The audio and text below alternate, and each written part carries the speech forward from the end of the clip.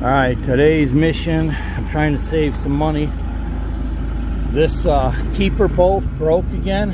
It happened once before and Bobcat replaced it. Uh, I got it on the ropes. Phil was gonna come and help me tomorrow or the next day, but I was feeling antsy. So by manipulating this boom, I got it out to where now I could see the hole. Okay, so now I just got to get a screwdriver or something and get that hole back lined up, pound it back in and get a new bolt. I think I got that on the ropes. Now the second thing is this bottom zerk is not taking grease. All right, so real quick, this is what my boom was doing. I had a bad squeak to it, and it took a while to troubleshoot and figure out that the grease zerk was bad, but take a listen for yourself.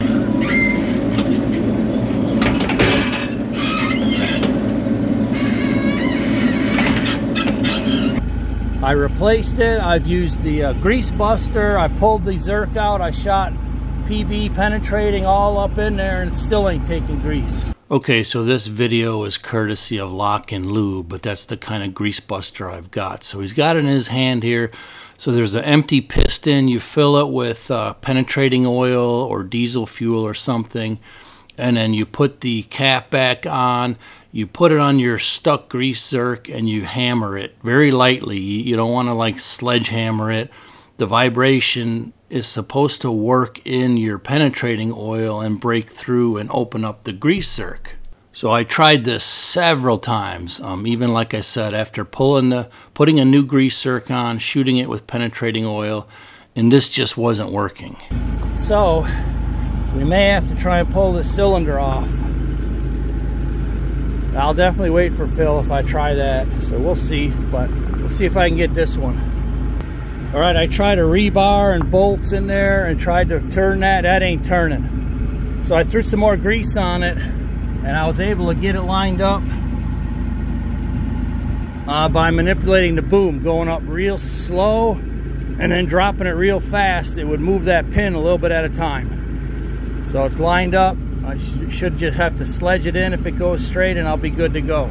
All right, so I'm speculating here because I don't know the answer to this hypothetical, but if I'd have taken it to the Bobcat shop and they did what I did, I mean, I tried like five or six times with the grease buster and it wasn't working. Um, my guess is that they would have wanted to pull that pin and maybe clean out and spray that whole end of that piston where the grease um, sits in there, you know, at a hundred and some bucks an hour. So I'm thinking I was able to save some money on this visit, but either way, it's a learning curve. I learned uh, how to use that grease buster, not only that, but also to change your grease positions. Changing the positions actually makes a difference in busting through that clogged grease zerk. And also with that main boom pin, you know, their protocol might have been to just go ahead and pull it out, either clean it or replace it, you know, again at 100 something an hour. All right, we got double winter winter chicken dinner. I was about to give up on that grease zerk, and I thought, you know what? Let me try moving the boom, all, you know, to far extremes, you know, to, to change the pattern of the grease and whatnot. So I brought the boom all the way up, which is one of the moves I had to do to get that lined up.